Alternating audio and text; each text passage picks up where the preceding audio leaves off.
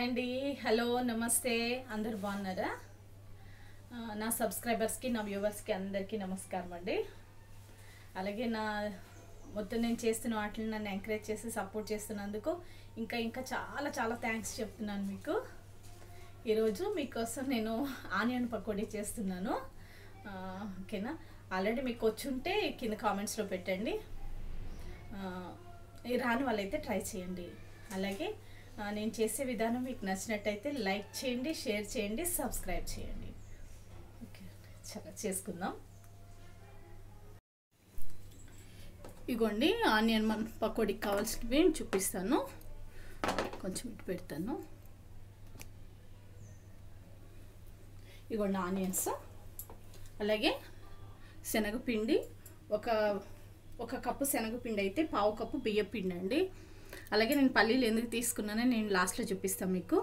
అలాగే కరివేపాకు ఇప్పుడే ఫ్రెష్గా పట్టి పెట్టిన అల్లం వెల్లుల్లిపాయ పేస్ట్ ఉప్పు కారం అండి. ఓకే అండి. ఎలా ప్రిపేర్ చే ఎలా ప్రిపేర్ చేయాలో చూపిస్తాను ఇప్పుడు మీకు. ఇంకొన్ని ఆనియన్స్ తీసుకున్నాను.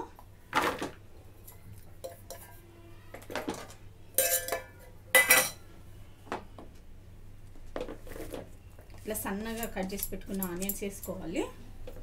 ఈ ఆనియన్స్ వేసుకొని ఆనియన్స్ని ఇలా అనుకోవాలండి.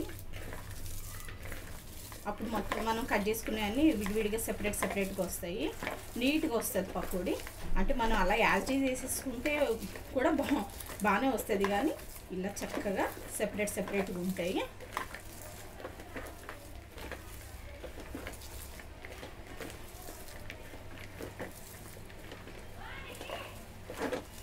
ఇలా సెపరేట్ చేసుకొని ఇందులో మనం వాటర్ ఏం యాడ్ చేసుకోవసరం లేదండి. ఇందులో ఆనియన్స్లో కొంచెం తడి ఉంటుంది కదా ఆ తడి సరిపోతుంది మనకి.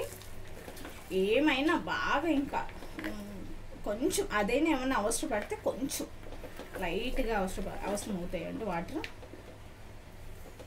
అలాగే ఇందులో ఇప్పుడు మనం ఒక్కొక్కటి ఒక్కొక్కటి యాడ్ చేసుకోవచ్చు.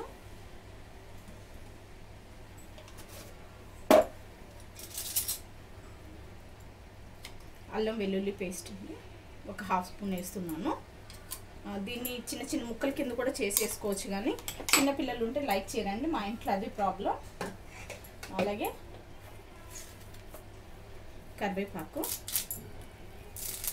కరివేపాకుని కొంచెం ఇలాగా చిన్నగా కట్ చేసేస్తాను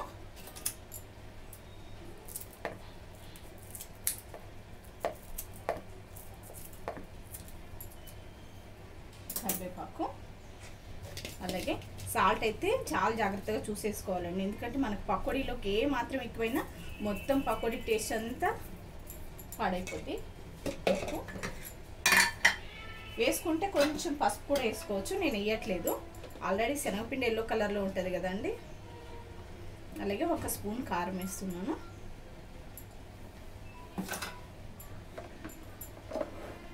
అలాగే శనగపిండి అందాక హాఫ్ వేస్తాను.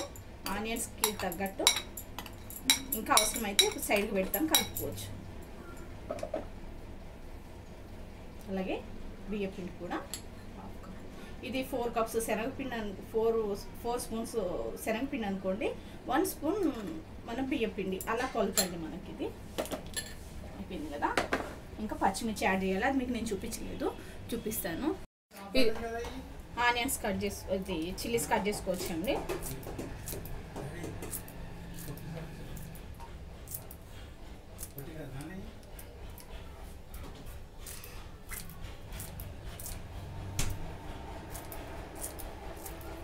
ఆనియన్స్ కూడా ఇలా కట్ చేసేసుకుంటే మంచి టేస్ట్ వస్తుందండి. ఇలా కట్ చేసి వేసుకుంటే అని కాదు చూడ్డానికి బాగుంటుంది. ఇలా కట్ చేసి వేసుకుంటే పకోడీలు ఇలాగా ఫ్రై అయ్యి ఉంటాయి కదండి సైడ్కి కనబడుతుంది కదా.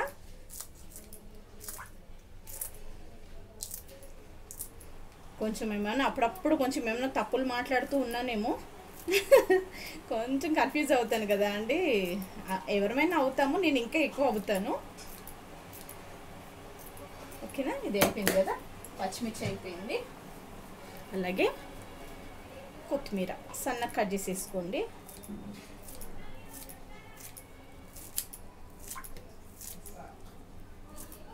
వాటర్ వేస్తే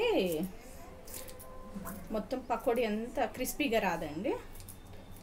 కొంతమంది ఇట్లా మనకి బియ్యపిండి కలుపుకోకుండా వేసుకో వేస్తారు. కాకపోతే క్రిస్పీ రాదు సాఫ్ట్గా ఉంటే.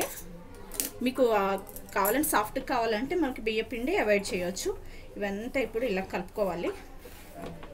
మనకి ఆనియన్స్ని ఇలా ప్రెస్ చేస్తూ కలుపుకుంటే అందులోంచి వాటర్ వస్తుందండి. అది సరిపోద్ది.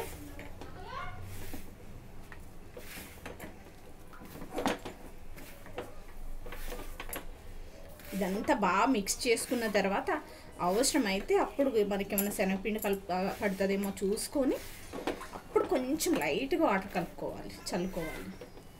జస్ట్ ఇందులో కొంచెం ఆయిల్ యాడ్ చేస్తాను. ఒక స్పూన్ ఆయిల్.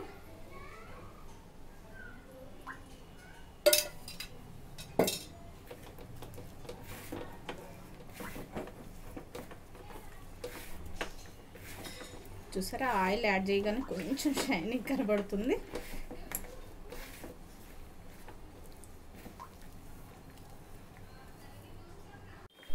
కొంచెం అంటే చూసి జాగ్రత్త కలుపుతున్నాను వాటర్ చూడండి జాగ్రత్తగా ఎంత కాదు. బస్ ఈ వాటర్ సరిపోతే.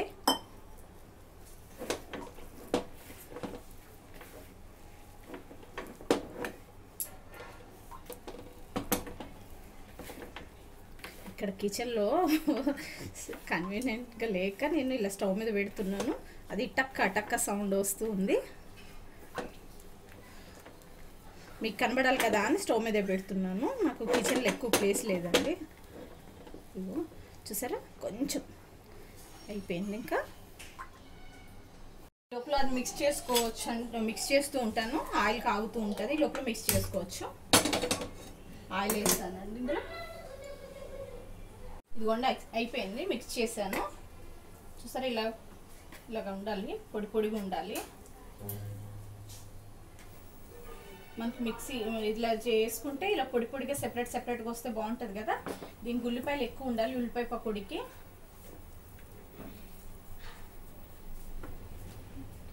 ఈ లోపల ఆయిల్ సాగుతూ ఉంటుంది. చేతి పడిపోయింది. ఆయిల్ కాగిందండి. మనం పకోడీ వేసుకునేటప్పుడు హైలో పెట్టుకుంటే పైన కలర్ డార్క్ అయిపోద్ది లోపలేమో ఉడకదు పచ్చి పచ్చి ఉంటే మీడియం ఫ్లేమ్లో పెట్టుకుని వేసుకోవాలి. ఫ్లేమ్ తగ్గించాను. ఇదిగోండి మన మిక్స్ ఉంది కదా ఇందులో వేసుకోవచ్చు.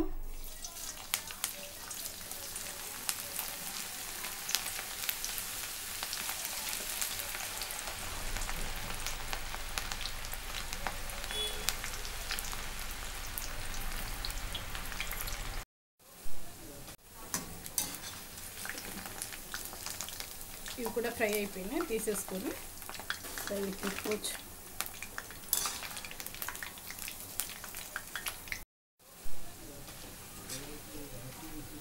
ఇవి ఇంకో ట్రిప్ వేసుకున్నానండి ఇవి ఫ్రై అవుతూ ఉంటాయి. ఈ లోపల నేను మీకు కింద పల్లీలు అని చెప్పాను కదా దానికోసం నా కోసం అని మళ్ళీ మీకు చూపిద్దామని. ఈ కొంచెం పిండిలో కొన్ని పల్లీలు. కొన్ని పల్లీలు వేసుకొని ఇదంతా మిక్స్ చేసుకుని వేసుకుంటే చాలా టేస్ట్గా ఉంటాయండి పల్లీలు. మీరు కూడా చేసుకుంటారు ఇలాగా? చేసుకుంటే ఓకేనండి. తెలియని వాళ్ళు ఎవరైనా ఉంటే ఇలా పల్లీలు వేసుకొని చేసుకుంటే చాలా బాగుంటుంది. ట్రై చేయండి. నేను మళ్ళీ అవి కూడా చూపిస్తాను మీకు. ఇవి ఫ్రై అయిపోయిన తర్వాత వేసి చూపిస్తాను. ఇంక వేసి చూపించడం ఎందుకు లేండి కానీ ఈ పల్లీలు ఇలా మిక్స్ చేసుకొని వేసుకుంటే ఈ పకోడీలో చాలా టేస్ట్ వస్తాయి. ఈ గట్టి పకోడీకి ఇట్లనే ఉంటుంది. మనం చేసుకున్నది గట్టి పకోడీ కదండి. అదే లూజ్ కావాలంటే కొంచెం వాటర్ కలుపుకోండి. మా పిల్లలకు కావాలంటే కొన్ని లూజ్ కూడా చేస్తున్నాను నేను. అవే ఇవి.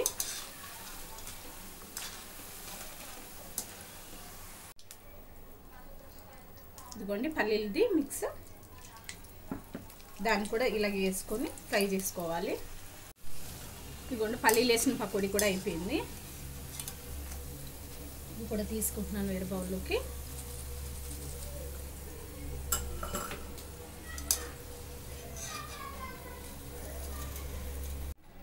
ఫైనల్లీ మన ఉల్లిపాయ పకోడీ రెడీ అండి. ఇగో సూపర్ సూపర్ ఉంది.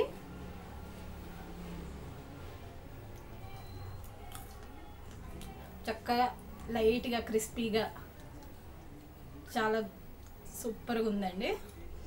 అలాగే నేను అది కూడా చేస్తాను కదా? మీరు కూడా ఇలాగే చేసుకుంటారా? చేసుకుంటే మీరు ఎలా చేసుకుంటారో కింద కామెంట్స్లో పెట్టండి.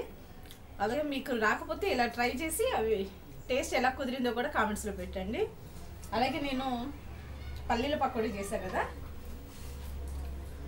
ఇది పల్లీలు వేసిన చేసి పక్- చేసిన పకోడీ అండి ఇది. ఇంకో చక్కగా పల్లీలు. ఇవ్వండి పల్లీలు. చక్కగా ఇలా వస్తాయి సపరేట్గా వస్తాయి. ఇప్పుడు వేడి ఉంది కదా కొంచెం సాఫ్ట్ ఉంటుంది. కొంచెం చల్లగా అయిన తర్వాత మనకి ఈ పల్లీలు చాలా క్రిస్పీగా ఈ పకోడీతో చాలా టేస్ట్గా ఉంటుంది. మీరు కూడా ట్రై చేయండి. కొత్తగా ఉంటే ట్రై చేయండి ఓకేనా?